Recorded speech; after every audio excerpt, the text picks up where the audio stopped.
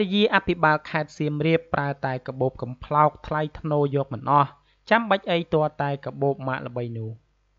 ពិតជារឿងមួយដ៏គួរឲ្យសរសើរខ្លាំងណាស់ដោយគេឃើញ លោកជំទាវជាភរិយារបស់ឯកឧត្តមអភិបាលខេត្តសៀមរាប គឺស្ត្រីម្នាក់បានចូលរួមលើកស្ទួយស្នាដៃខ្មែរដោយការប្រើប្រាស់កាបូបច្នៃអំពីកំប្លោកច្រើនជាងការប្រើប្រាស់កាបូបដែលមានម៉ាកល្បីៗ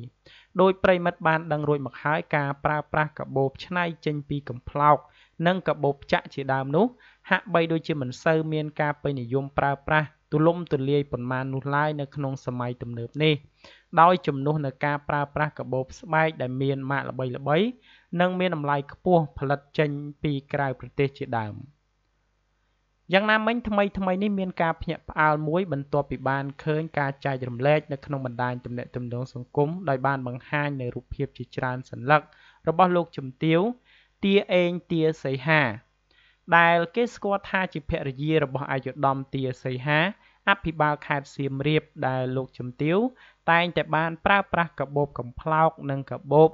ចាក់ម៉ូដប្លែកប្លែកដែលសុទ្ធសឹងជាផលិតផលរបស់ខ្មែរនិងធ្វើឡើងដោយស្នាដៃកូនខ្មែរសុទ្ធសាធតាមរយៈរូបភាពដែលគេបានចែករំលែកនោះគេសង្កេតឃើញថាលោកជំទាវទៀងអេងទាសីហា បានប្រើកាបូបទាំងនោះ ចូលរួមកម្មវិធីធំធំនានាមិនថានៅក្នុងសកម្មភាពមនុស្សធម៌ឬក៏កម្មវិធីអ្វីនោះឡើយដោយគេកម្រឃើញលោកជំទាវប្រើប្រាស់កាបូបស្បែកម៉ាកល្បីៗខ្លាំងណាស់ ងាកទៅមើលគណនី Facebook មួយដែលមានឈ្មោះថារតកញ្ញា Play ដែលជាប្រភពចែកចាយរូបភាពរបស់លោកជំទាវនោះបានលើកឡើងថាគាត់ស្រស់ស្អាតណាស់ស្អាតទាំងរូបរាង ស្អាតទាំងទឹកចិត្តសំខាន់គាត់គ្រប់គ្រងស្នាដៃខ្មែរសូមសរសើរដោយស្មោះលើកស្ទួយស្នាដៃខ្មែរចំពោះមហាជនវិញក៏មានការលើកសរសើរដល់លោកជំទាវ ទៀងអេងទាសីហាយ៉ាងខ្លាំងផងដែរក្រោយពេលបានឃើញលោកជំទាវប្រើប្រាស់នៅកាបូបបែបនេះដោយម្នាក់ម្នាក់បាននិយាយថា